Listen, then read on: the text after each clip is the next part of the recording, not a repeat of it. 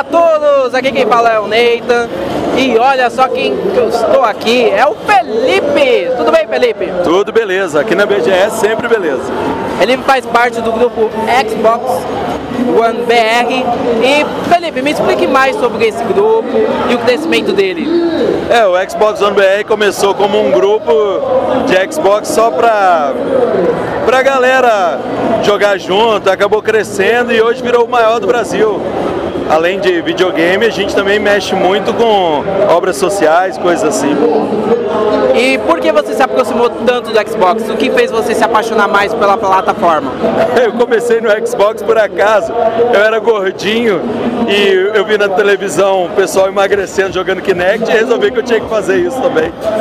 Daí pra lá foi só paixão, aí conheci os jogos, mas o que me impressionou mesmo, pra falar sério, foi a dublagem do Halo 3 quando eu joguei no Xbox 360, foi o meu primeiro. BGS de 2017, o que é que você está achando e qual stand te impressionou mais? Seja bem sincero. Olha, o, o, que mais impressionou não é puxando saco, foi o da Microsoft mesmo. Quem pesquisar aí no YouTube vai ver que a interação aqui foi muito grande. Tivemos o Phil Spencer, tivemos uma FanFest e o melhor, cara, muita gente não sabe, mas 100% da renda da loja é doada para ACD, diferente dos outros estantes que visam lucro. Não que seja errado, mas já quero para apontar o, mais, o melhor, né?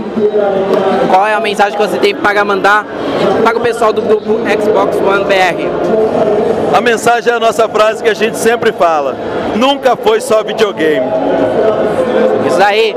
Felipe com a gente, BGS 2017 aqui no canal do Menino Neita. Vamos continuar com a cobertura. Fui!